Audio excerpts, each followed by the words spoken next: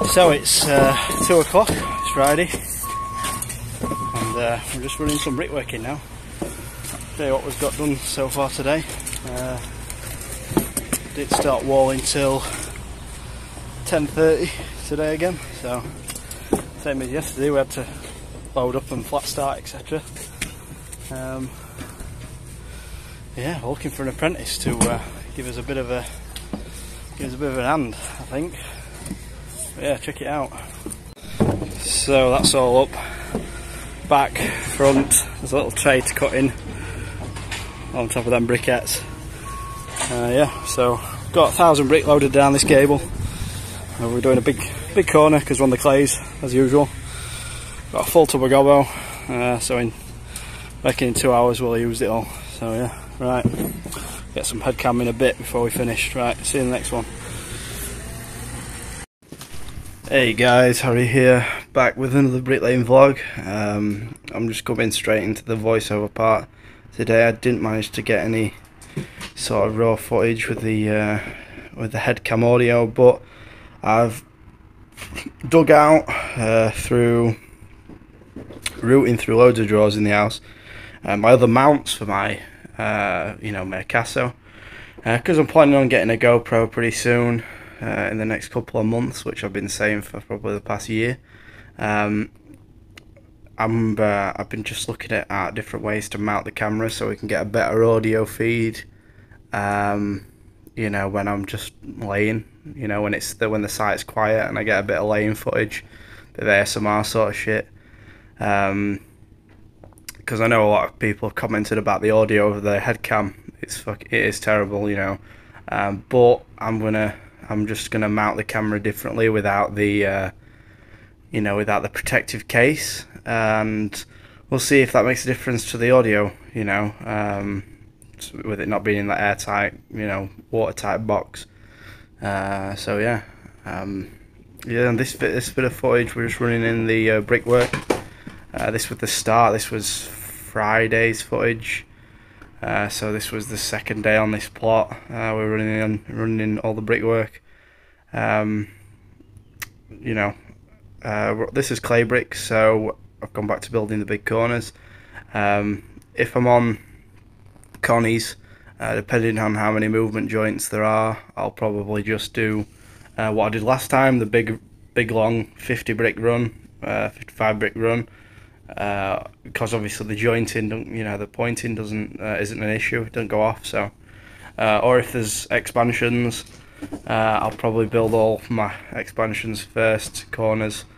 Uh, after I saw Patterson Construction, he's doing his plots are set out pretty similar to how these are with the expansions and the corners. Uh, but yeah, back to using the uh, the, you know the 10 inch, you know, the 10 inch Tyzack. Um, this is just the wooden handled version one, so just a standard. The little plastic uh, tapping cap comes off after a while, so it's not really something you use anyway. You know, if you're uh, with a with a trowel this size, there's not really tons of point flicking using the heel of the trowel to tap the the uh, tap the block, you know, or tap the brick. You know, there's very rare times I actually tap the brick or tap the block. So, you know, just all should be done with your hands and your thumbs. Um, that brings me on to another point. You know, my th your thumbs. You've got to take care of your thumbs. Um, you know, mine at the moment, both my thumbs are really sore, uh, especially around the nail. You can get crap in, crap into your thumbs around the nail if you don't keep changing your gloves often, or you don't keep wrapping your thumbs with um, Olympic Olympic tape. You know. Um, sometimes like you know rock, you know rock climbing tapes stuff like that because they can get a lot of wear especially like myself that I basically press all my gear down to the line. I don't do any tapping or tippy tapping uh, very often. So you know the, your, your thumbs do get a lot of wear when you're on the uh, lower courses. Here you can use the more flat of your thumb so not as much as your tip more of your flat of your thumb. When you're at this height you can you see there I'm pressing with the, the tip of my thumb and then on the other the other brick side my thumb more flat. Uh, but the tip of you know when you're pressing with the tip of your thumb um, it's normally more on these perforated clay bricks because you need to be a little bit more uh, easy with them because they'll go down a little bit easier with the big holes. But like on the connies, on like a on a like a frog brick, um, you know the brick t- tends to resist pressing down to the line a little bit more, so you can use the flat thumb a bit. So. Uh, yeah, uh, I've been alternating between using you know regular pick and dip and sort of long spread. With the with this ten inch trowel, you're just basically doing a two pick and dip every time you every other trowel for a gobbo. You you know so you'll pick a trowel for a gobbo up with this ten inch and it'll spread for two bricks more or less. And if you pick another trowel for up, you can then basically spread for three, and then it's like a bit of an intermediate pick and dip. So you're not picking a trowel for mortar up every time with a brick. It's two trowels for mortar to like uh, four bricks, you know, so or five or six bricks depending on how much you get on the trowel. Um, but yeah, I find it I find it a little bit easier that way with uh, working around the scaffold, working around um, a number of things, a number of things. Um, but yeah, it's uh, it depends on the brick as well with the connies. Uh, the, the long spread potential with this trowel is good. You know, really good to get a big spread out. And sometimes, you know, uh, although I do like pick and dip, you know, the long spread can be a little bit more. You have to think about it less because you don't have to think about picking a brick up every time you you uh, go to get a trowel full mortar. It's you know you can get me into a little bit more of a steady rhythm with the long spread and it depends. You know, some days I do pick and dip, pick and dip normal, and some days I do the long spread style. So, uh, yeah. But uh, yeah, definitely recommend for a hot day these sort of elongated big corners. You don't. You, a lot of guys think you know just a big corner can be, you know, twelve bricks out one side, twelve bricks out the other to get you to 24, 25 course, depending on how high you reach. Uh, but no, you can even go. You know, you can go a little bit further than that. If you're running in the back, you could go uh, you know, go 15, 16 out one side, 15, 16 out the other, and you'll, you know, knock out a big chunky gable. Uh, and I've always reducing every course, so the pointing doesn't feel as overwhelming, especially when it's super, super hot and you don't have to stop pointing all the time. So yeah, but I'll uh, end the voice over here. I've still got quite a bit of a cold progressing. Uh, but you know, it's middle summer, so it doesn't really affect you too much. But uh, I'll uh, I'll see you guys in next video. I've gone to get some footage today. Been a bit busy at the weekend and uh, a bit busy throughout this week so far. Uh, so I've not had a chance to really put as much effort into the videos, but I'll uh, I'll be back on it soon. So thanks for watching, and um, I'll see you guys uh, in the next video and enjoy the rest of the footage.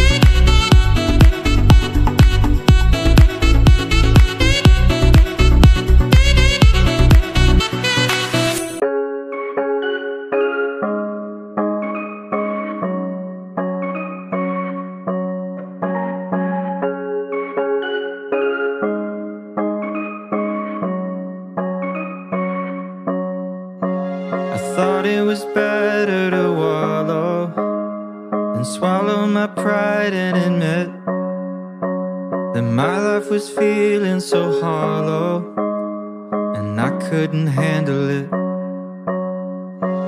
So I called a couple of friends and a caring specialist. And I talked through all of my problems till they started to shrink a nothing's easy, but you gotta believe me. You'll never truly be alone. It's okay to ask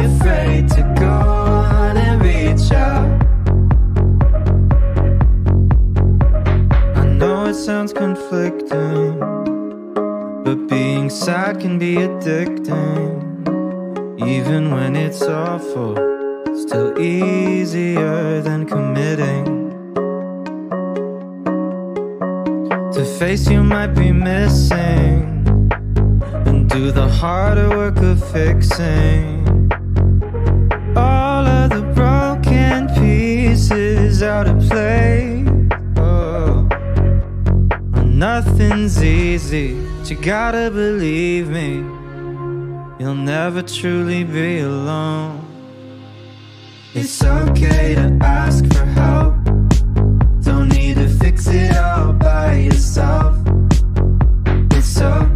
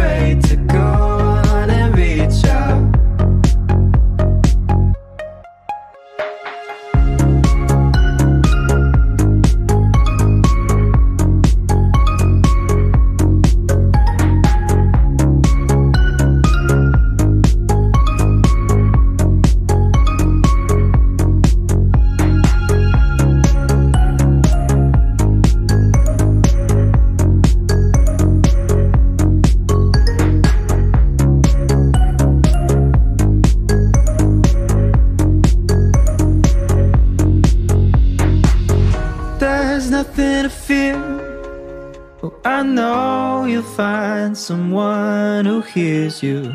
Oh, I know you'll find someone who helps you through the day.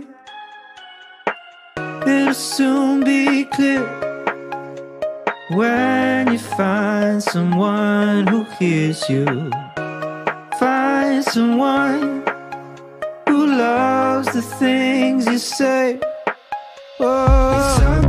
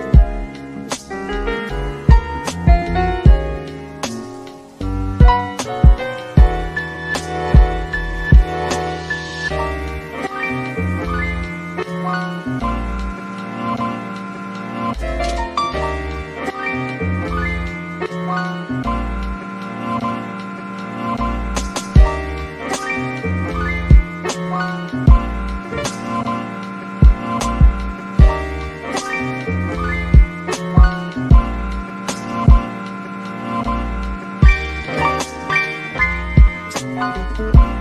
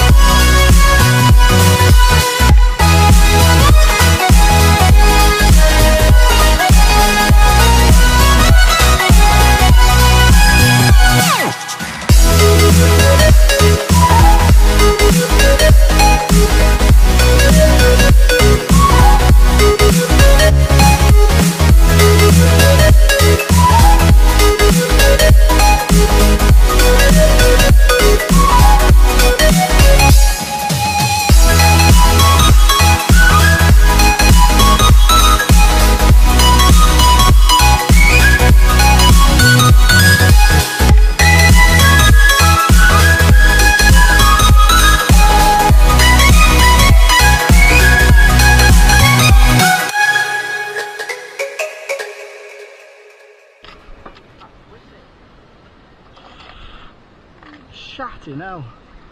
Have to fucking leave them a bit off at line a bit, just let them fucking set a bit.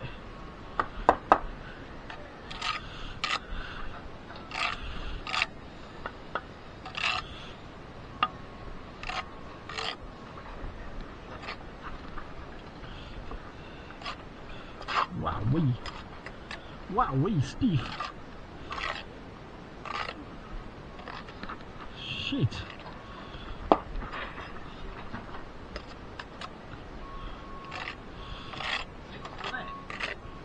Doesn't it?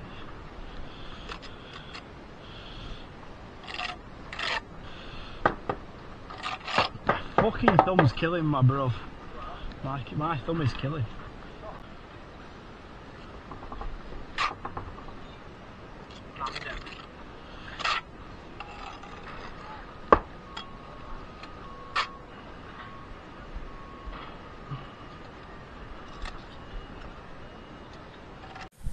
So it's uh, just gone half four. Um, another another bit of a late one today, but we got quite a lot done. Um, I'll show you, show you what we got done in the end. So yeah, that's what we got done. We got uh, about 550, 600 bricks maybe. Um, 100 blocking today. And uh, we're all loaded out ready for Saturday. You know, we've got a good run there. A good 17 course to go at. That's like a 30, 35 brick run. So, you know, good 500, good full tub of mortar worth anyway. Right guys, thanks for watching. See you in the next one.